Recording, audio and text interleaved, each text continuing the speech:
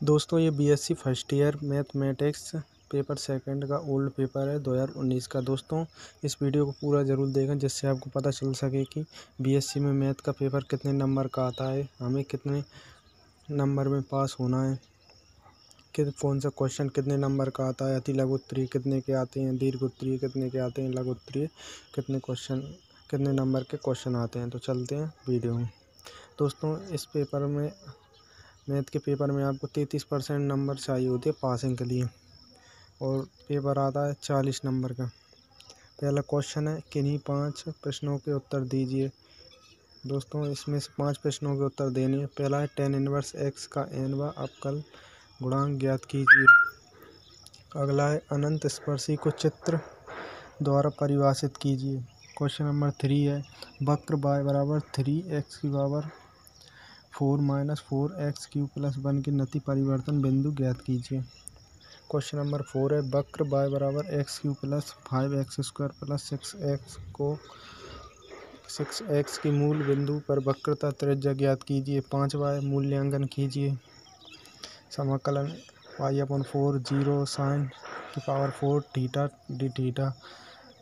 छठवा दीर्घ वृत्त x square upon a square plus y square upon b square बराबर एक का संपूर्ण क्षेत्रफल ज्ञात कीजिए।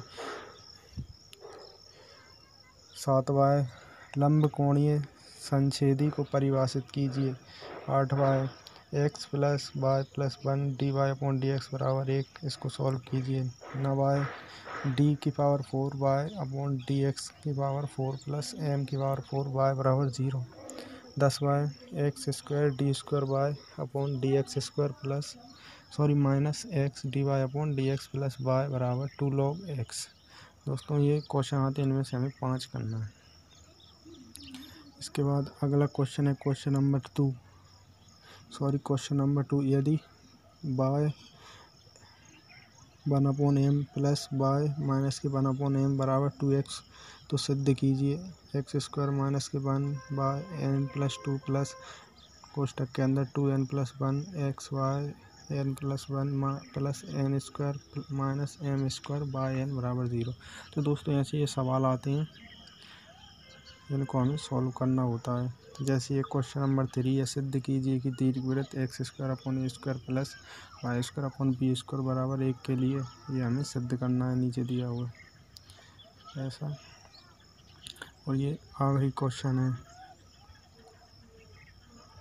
तो आई होप कि आपको ये समझ में आ गया होगा कि कैसा पेपर आता है। अब मैं पूरी क्वेश्चन तो आपको बोल के बताऊँगा नहीं, इसलिए अगर इसमें आपको कुछ समझ में ना आए तो बताएँ, कमेंट में लिखें।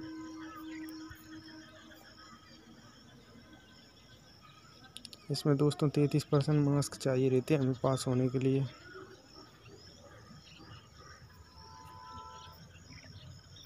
बहुत इजी सवाल आता है। दोस्तों, इसमें बहुत सरल सरल सवाल आते हैं, बहुत इजी पेपर आता है।